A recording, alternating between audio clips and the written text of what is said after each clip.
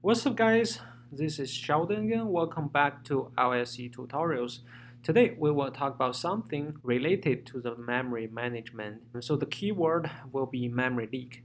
So don't panic even if you are a beginner because today I will give you guys a very good explanation on the memory management using Swift as well as the visualization tool given by Xcode starting from the version 8.0 that we can visualize the memory leak in our application. So let's get started. So here we are at the Xcode. So before we starting write some code, first we need to understand what is memory leak. So this memory leak is not just a fancy word. Actually, is when we store or create something into our memory, and if we don't release it properly, that variable or whatever property that you created there will hang in in the memory because we are assuming we didn't release it properly or we even forget to release it. I mean, this happens a lot when we're at the MRC generation, which is before iOS 5 and at that moment we only use MRC which is manual reference counting. Um, so in that case we have to release the objects that we created uh, step by step. But nowadays since iOS is taking ARC which is automatical or automatically reference counting mechanism um, so when we create any object out of a class uh, iOS will help us to release it so nowadays we don't need to care much about this memory issue until in the following two cases. So again, memory leak is just when we create something in the memory and we didn't release it properly. So in that case, that object is always hanging there in our RAM and taking resources and that's why we call it a leak. So I will show you guys two things as you guys may see here. I mean, I have prepared two classes that we will use to demonstrate these two memory leak scenarios. So the first one is very classic retain cycle example. So we're having a class called person.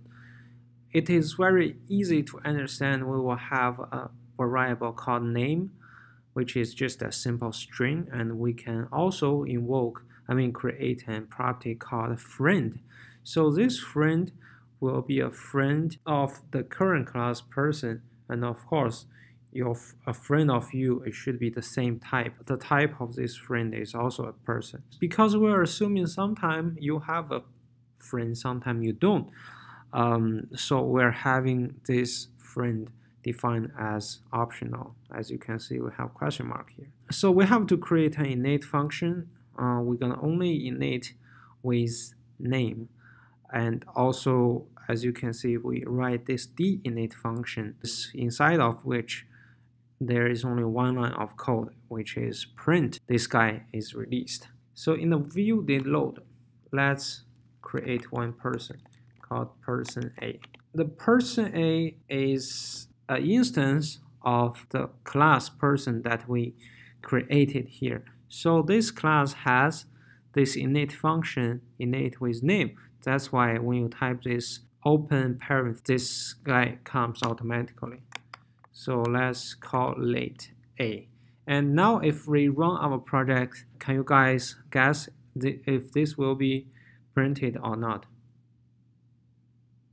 Yes, so it will be printed because we're creating a local variable and a view did load. So the, the moment we're invoking view did load starting from line 13 to 18. It first comes to this 14, line 14, which is super view did load, and then to this line 16. And after line 18, this person A will be released. And at that moment, this function will be invoked. So let's quickly run our project to see if this is happening.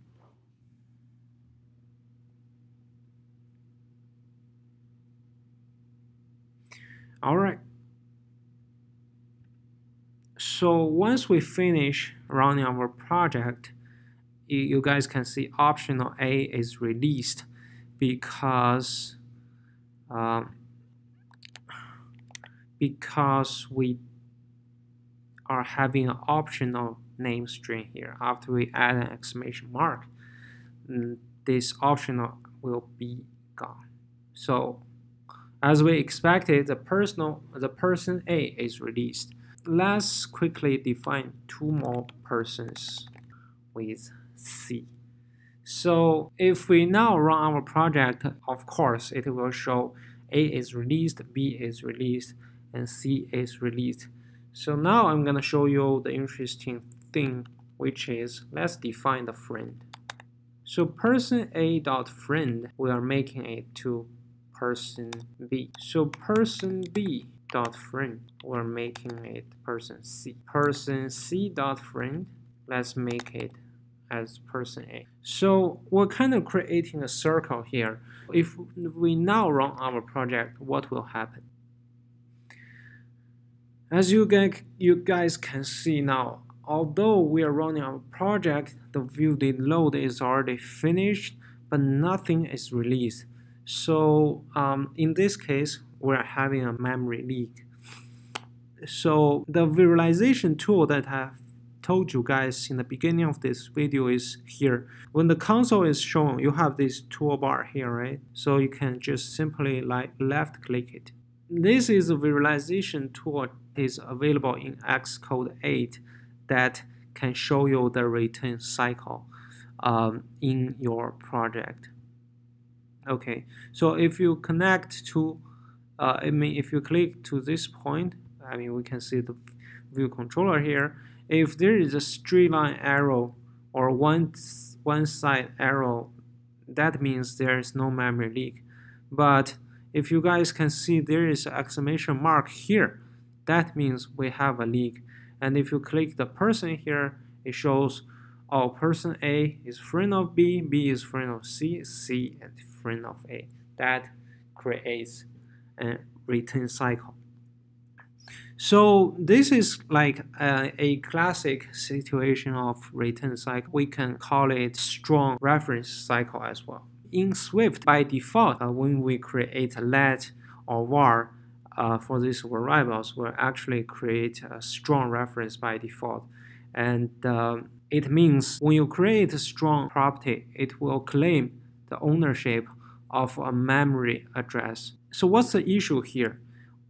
when we create a person, we are claiming a strong reference of the name here and a strong reference of a friend here. Uh, so we create one person A, one person B, and one person C. So when we try to release person A, person B, and person C, the friend of person A, which is person B, is actually stopping this friend to be released, which means the person B cannot be released because we have a strong reference here. I mean, this is kind of hard to describe, but the thing is when we create the object of person, it can be released. But when we try to release the friend, um, it the pro the release process is got stopped because it is referencing another person um, that is holding the strong reference. So one way to solve this is simply add the weak keyword here. So the weak keyword, uh, we call this attributes of a property in Objective C, and now it's just a simply keyword. And if we run our project again, we can see because we claim the weak reference, uh, when we try to release the person object, the rest is also automatically solved. Yes, so as you guys can see, everything is released. Okay, so there's one more thing that is interesting. Uh, why C is released first? Can you guys guess? Yes, because when we creating, I mean, local variables, we are uh, creating on a stack. So first we create person A, and then we create person B, and finally we create person C. But when we release it, because the C is on the top of the stack, so we will try to release C first, and then B second, and uh, last but not least is the person A. Okay, so that's will wrap up our first section of this classic strong reference cycle solution. So when you uh, strongly referencing something, um, one way to solve that is simply use weak property attribute to redefine our variable. So uh, yeah, let's try to hit this um, visualization tool again. And as you can see, there's no exclamation mark or this, those uh, sign uh, indicating we have a memory leak anymore. So the second class, this one is more interesting than the first one actually because this will involve a type of the property in Swift or in iOS which is called block. So what is block? Um, block is just like when we define a block, usually in Swift it can be easy as easy as this, right? So we're we are having a type, we can uh, return a result.